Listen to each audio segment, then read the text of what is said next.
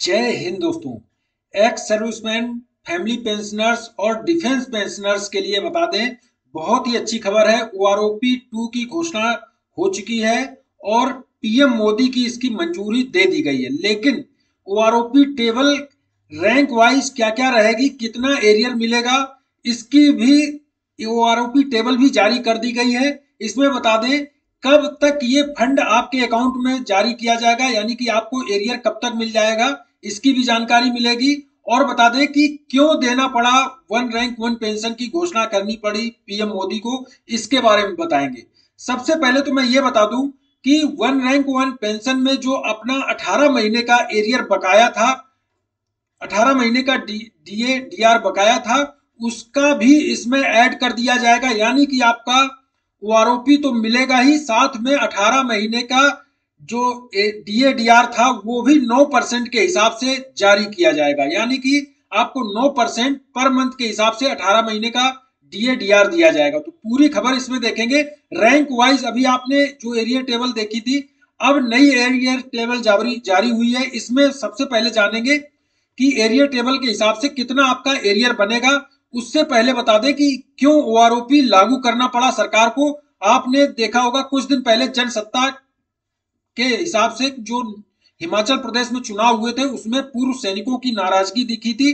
उसके बाद से ये मैंने एक वीडियो बनाया था। इस वीडियो को काफ़ी शेयर किया गया और बता दें कि कम से कम तीन लाख लोगों ने इसको शेयर किया। इसके बाद ये एक ब्रिगेडियर साहब थे, जिस, जिन्होंने दिल्ली हेडक्वार्टर में बीजेपी कार्यालय में भी इस लेटर को इस वीडियो को शेयर किया। उसके बाद आप देख सकते हैं ये ब्रिगेडियर थे, ब्रिगेडियर एन के धवन, जो कि रिटायर्ड थे और इन्होंने भी कहा कि आपकी यूट्यूब पोस्ट देखी और सुनी थैंक यू उसमें इन्होंने कहा कि जो जन सत्ता का जो आपने वीडियो बनाया है, इसका मैंने दिल्ली हेडक्वार्टर में भेज दिया है बीजेपी के दिल्ली हेडक्वार्टर में। एक्स सर्विसमैन की नाराज़गी की वजह है, उनका हारना हिमाचल प्रदेश।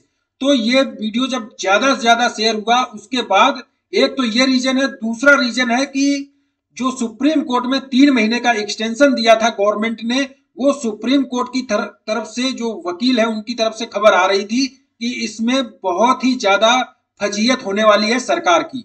अगर सुप्रीम कोर्ट तीन महीने का एक्सटेंशन तो देगा ही नहीं, साथ में बहुत ज़्यादा फजीयत होने वाली है। इसके बाद पीएम मोदी ने इसकी घोषणा की, वन रैंक वन लागू करने की, और कल राजनाथ सिंह ने इसकी कैबिनेट यानी कि प्राइम मिनिस्टर की मंजूरी की भी घोषणा कर दी और उन्होंने ट्वीट कर जानकारी दी कि वन रैंक, वन पेंशन एक जुलाई 2019 से सभी को दिया जाएगा। इसकी पीएम मोदी ने अप्रूव कर दिया है। लेकिन अभी सवाल यह है कि कितना एरियर बनेगा और कब इसको जारी किया जाएगा, आपके अकाउंट में कब आएगा, उसको मैं बताऊँगा। उससे पहले बता दें कि जो इन्होंने एरियर टेबल जारी की थी रक्षा मंत्री ने, इसमें बता दें 25 लाख एक्स सर्विसमैन और फैमिली पेंशनर्स को फ़ायदा होने वाला है 25 लाख फैमिली पेंशनर्स और एक्स सर्विसमैन को। इसमें जो एरियर टेबल जारी की गई थी, इसमें बता दें कि सिपाही का दिया था, नायक का दिया था, लेकिन सर्विस वाइज नहीं दिया था, हवलदार का दिया था, नायब सूबेदार का दिया था, इसमें सूबेदार का नहीं दिया था। अब नई टेबल के हिसाब से बताता हूँ कि सूबेदार और सारे की रैंक वाइज और इसके बाद सर्विस वाइज कितनी पेंशन बनेगी। ये दो टेबल जारी की थी ऑफिसर की और ओआर की। इसके बाद अभी नई टेबल जो जारी हुई इसमें आप देख सकते हैं कि रैंक वाइज और एसीपी के हिसाब से भी कितनी पेंशन बनेगी ए, एरियर भी कितना बनेगा। जैसे कि सिपाही की है जो 2016 में सत्रह हज़ार छह सौ निन्यानवे रुपए बन, बन रही थी बेसिक अब 2019 में उनकी उन्नीस हज़ार सात सौ छब्बीस रुपए हो जाएगी जो केवल सिपाही है। इसके बाद ओआरओपी रिवीजन के बाद उनकी बीस हज़ार तीन सौ चौरानवे यानी कि 2019 में उनकी थी उन्नीस लेकिन जैसे रिवीजन हुआ, बीस हो गया। इसमें डीए के साथ जो मिलेगा एरियर वो सत्तासी प्लस मिलेगा। यानी कि सत्तासी मिलेगा। इसके बाद डियरनेस अलाउंस का भी जो हुआ है, उसका भी नौ परसेंट के हिसाब से मिलेगा, वो भी मैं आगे दिखाऊँगा। इसके बाद बता दें एसीपी हवलदार, यानी कि जो सिपाही से एसीपी हवलदार ले रहे हैं, उनको भी बहुत अच्छा फ़ायदा होने वाला है। यानी कि उनकी जो 2019 में बेसिक हो जाएगी इक्कीस हज़ार नौ सौ अट्ठानवे रुपए कर दी जाएगी 2019 में बेसिक। उसके हिसाब से उनकी जो सैलरी बनेगी चौरानवे हज़ार तीन सौ रुपए बेसिक मतलब इनका बन जाएगा एरियर। चौरानवे हज़ार तीन सौ इनको एरियर मिलेगा जुलाई 2022 तक का। इसके बाद का एरियर आपको बाद में हर महीने ऐड होता रहेगा, लेकिन ये जुलाई का एरियर आपको जुलाई 2022 तक का दिया जाएगा एसीपी हवलदार का। नायक का है जो बेसिक हो जाएगा इक्कीस हज़ार नौ सौ तीस रुपए और एक लाख चौदह हज़ार रुपए आपको एरियर मिलेगा नायक को। अभी कई लोग कमेंट करते हैं कि, सर, सिपाही जो है एसीपी हवलदार, उसको इक्कीस हज़ार नौ सौ अट्ठानवे मिलता है और जबकि एसी जो नायक है, उसको इक्कीस हज़ार नौ सौ तीस मिलता है। क्यों इतना कम अंतर क्यों है? उसका रीजन ये है, ये ले रहा है, सिपाही ज़रूर है, लेकिन एसीपी ले रहा है, हवलदार, और ये केवल नायक की ले रहे हैं। इसलिए इसमें कुछ रुपए का अंतर आया है तो आप उससे देख सकते हैं। इसके बाद हवलदार की जो बनेगी, बेसिक हो जाएगी बाईस बाईस हज़ार दो सौ चौरानवे रुपए और सत्तर हज़ार उनको क्रेडिट, एरियर क्रेडिट होगा। लेकिन जो एसीपी सोलह सोलह साल में हवलदार रिटायर होके जाएगा, यानी कि सोलह साल सर्विस करके प्रीमेचर रिटायर होके जाएँगे, उनको छाछठ हज़ार रुपए एरियर मिलेगा, बाईस हज़ार चौबीस उनकी सेल, जो बेसिक बनेगी, बाईस हज़ार चौबीस बनेगी।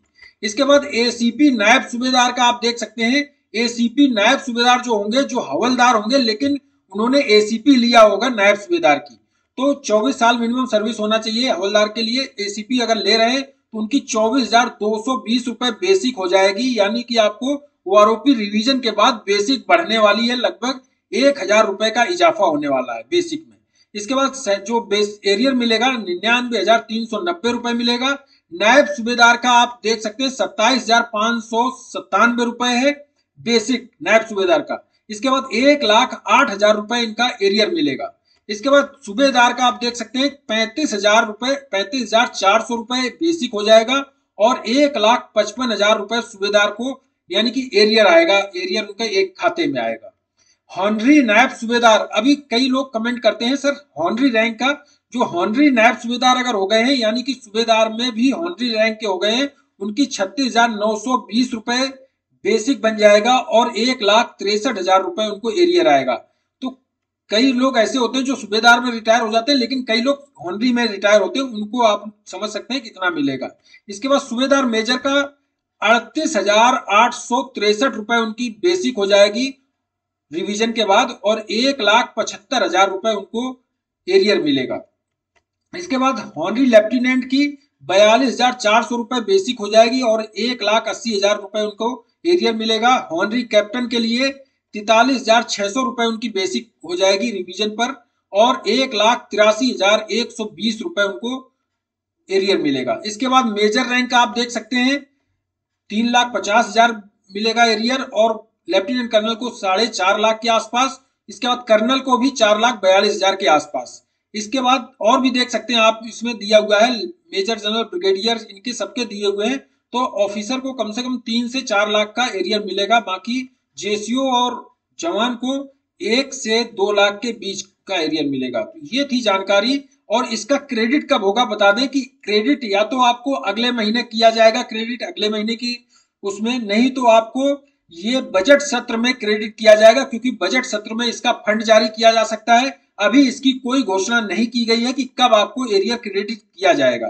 लेकिन बता दें कि अगर अभी नहीं हुआ एक महीने के बाद तो आपको बजट सत्र में, फरवरी बजट सत्र में आपको इसका एरियर का फंड जारी किया जाएगा, उसके बाद आपको क्रेडिट किया जाएगा। और बता दें कि जो 18 महीने का, जो डीए था 9 परसेंट के हिसाब से रैंक वाइज आपको 18 महीने का दे दिया जाएगा। इसके लिए भी अधिसूचना जारी की गई है, लेकिन अभी इसको ये नहीं क्लियर किया गया कि इसको साथ में दिया जाएगा कि या अलग अलग दिया जाएगा। तो अभी आप इसको देख सकते हैं कि ये जब अलग दिया जाएगा या साथ में इसके लिए फंड जब जारी किया जाएगा, तभी इसकी जानकारी मिल सकती है। इस वीडियो में इतना ही। वीडियो अच्छा लगा हो तो लाइक करें, चैनल सब्सक्राइब ज़रूर करके रखें, जिससे कि लेटेस्ट नोटिफिकेशन आपको टाइम टू टाइम मिलते रहे। Thank you. जय हिंद।